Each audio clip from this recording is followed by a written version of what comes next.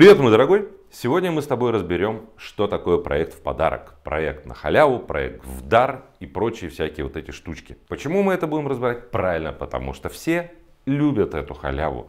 Любят, когда есть акции, скидосы, распродажи, а желательно, чтобы это вообще отдавали все и бесплатно. И кроме тебя, это любят еще и различные производители, проектировщики, все, кто связан с домостроением. Иными словами, проект в подарок. Что это за зверь?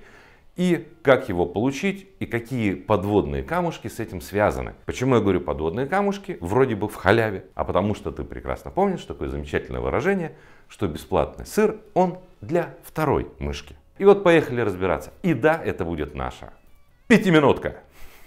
Так пусть же начнется игра. Я выделил целых три источника, откуда можно получить проект бесплатный в подарок. И первое это от производителей. В принципе, даже не будем никого маскировать. Есть, например, такой производитель Yutong. Он там крутой, классный, и у них есть большое портфолио, которое можно совершенно бесплатно получить себе проект. Но там есть один маленький нюансик, если ты внимательно посмотришь.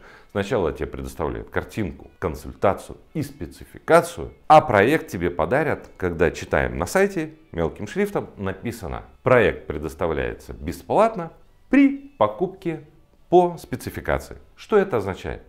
И вообще, откуда берутся такие проекты, в частности и Ютонка? У таких производителей есть или своя собственная проектная группа, или они нанимают какие-то крутые команды, которые разрабатывают для производителя непосредственно под них, под их технологический процесс и вообще товар, именно проекты. И они заточены исключительно вот прям вот в эту штуку. И прикол заключается в том, что если ты возьмешь этот проект и попытаешься применить его на какой-то другой технологии, например, ты газобетонный блок попытаешься заменить на там, керамику, у тебя ничего не выйдет, потому что там все заточено именно под конкретную технологию. И вот этот проект, он вроде бы как бы бесплатный, но по факту там зашито в этом проекте все, что связано с технологией конкретного производителя. Иными словами, там будет вся производственная номенклатура. Все, что можем, туда запихнем. И у таких проектов есть и плюс, и минус. Минус заключается в том, что если у тебя нет возможности приобрести вот прям все у этого производителя, если ты находишься в другом городе, в другом регионе, у тебя там нет этого представителя,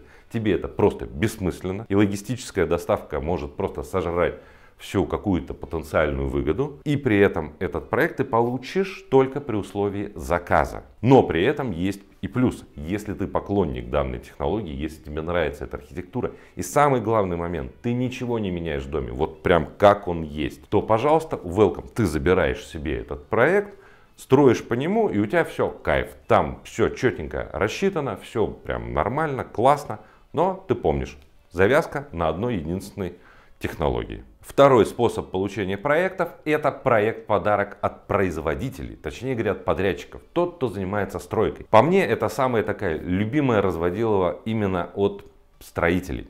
В чем ее прикол? Там есть даже два способа. В первом случае тебе предоставят проект реально бесплатно. И его даже тебе могут разработать под тебя и бесплатно. Бесплатно, бесплатно, везде тебе говорят, это все в подарок, подарок, подарок. Самое главное, заключается в том, что ты его все равно оплатишь. Ты должен вначале заключить договор, то он небольших денег стоит, на проектирование. Это способ тебя привязать этим проектом к конкретному производителю работ. И это условная бесплатность, ты же за него все равно заплатишь. Тебе потом говорят, что при расчете стоимости работ, конечно, мы эту стоимость вычтем из строительства. Как ты понимаешь, это такой любимый способ, как и маркетплейсы, когда сначала перед черной пятницей цены умножаются на 100%, а потом делается скидка 50%. Обожаю вот эти вот классные маркетинговые штуки. И второй способ, наиболее такой коварный вообще.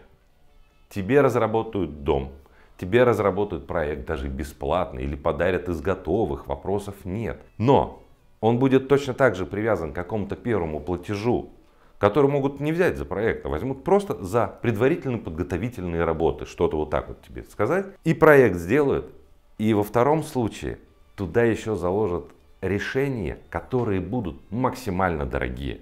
К примеру, тебе нарисуют по умолчанию плиту и объяснят, почему так надо.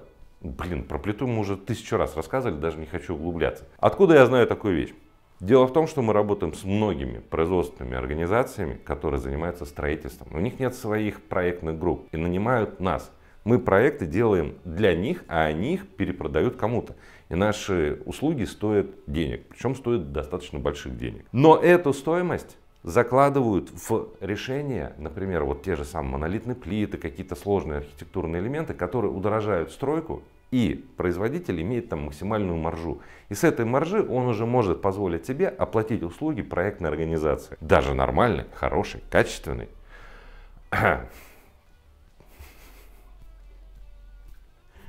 и скромный. И многие люди даже не узнают, что этот проект разрабатывался где-то другими сторонними подрядчиками. Это очень распространенная практика. У производственников часто нет своих проектных отделов. Либо есть обратная сторона, у них есть свой проектный отдел, представленный одним человеком. В лучшем случае он сидит в офисе. Чаще всего он сидит где-то вообще у черта на рогах и на аутсорсе лобает какие-то проектики. Качество этих проектиков Качество этих проектиков ты можешь себе представить. У нас есть вот такой выпуск, где мы разбираем эти проекты. Вот такой выпуск. Чаще всего самые прикольные проекты как раз вот из таких организаций. Он вроде бы бесплатный, его делает хрен пойми кто, там куча косяков. Именно из-за того, что производитель уже пытается здесь сэкономить и нанять кого-то самого дешевого из самых дешевых.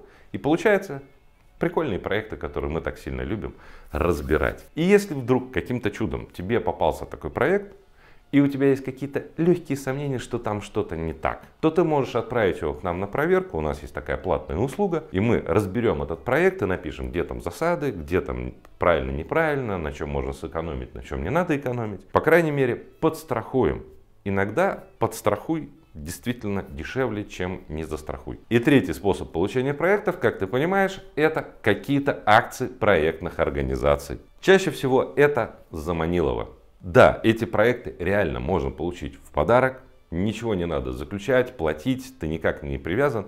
Но это маркетинговый ход, с помощью которого проектные организации привлекают к себе внимание. В частности, мы специально делали такие проекты, чтобы привлечь как можно больше подписчиков, для того, чтобы вот люди шли и собирали халяву. Хотя, как показывает практика, все большие любители халявы по факту ничего потом и не строят, а собирают эти проекты в стол, мечтая, так сказать, визуализируя свои идеи и мечты. Но с другой стороны, это хороший способ посмотреть, что люди выдают, какую проектную документацию, в каком объеме, какого качества, в принципе, это тоже хороший вариант. То, что ты его там построишь, не построишь, потому что бесплатные проекты никто не будет корректировать под тебя. Никогда. И подводя итог, хочется сказать, что в первом случае у тебя будет хороший проект, но зашит под одну единственную технологию, никак невозможно его ничего менять. Во втором случае проект будет спорного качества, и ты за него все равно один хрен заплатишь, а в некоторых случаях ты даже и переплачешь, потому что тебе туда занесут гораздо более дорогие решения, выгодные не тебе, а подрядчику. И третий вариант, да, это реально халява, его можно получить, но можешь получить, но это проект только часть. И многие так делают, и мы так делаем. Мы выкладываем, например, архитектурную часть, а конструктивную часть, извините, это уже за отдельные денежки. Игра окончена. В принципе, все, можно было бы и прощаться, но я тебе хочу накинуть один маленький вопросик. Как ты думаешь, может ли быть у миссис Хадсон муж?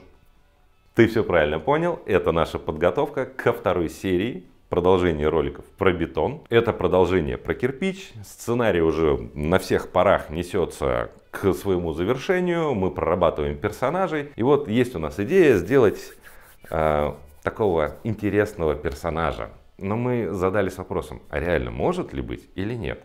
Как ты думаешь, напиши в комментариях. И для тех, кто сюда попал первый раз, напоминаю, что у нас есть возможность поддержать наш канал э, донатом. На сценарий мы уже собрали, на продакшн пока нет.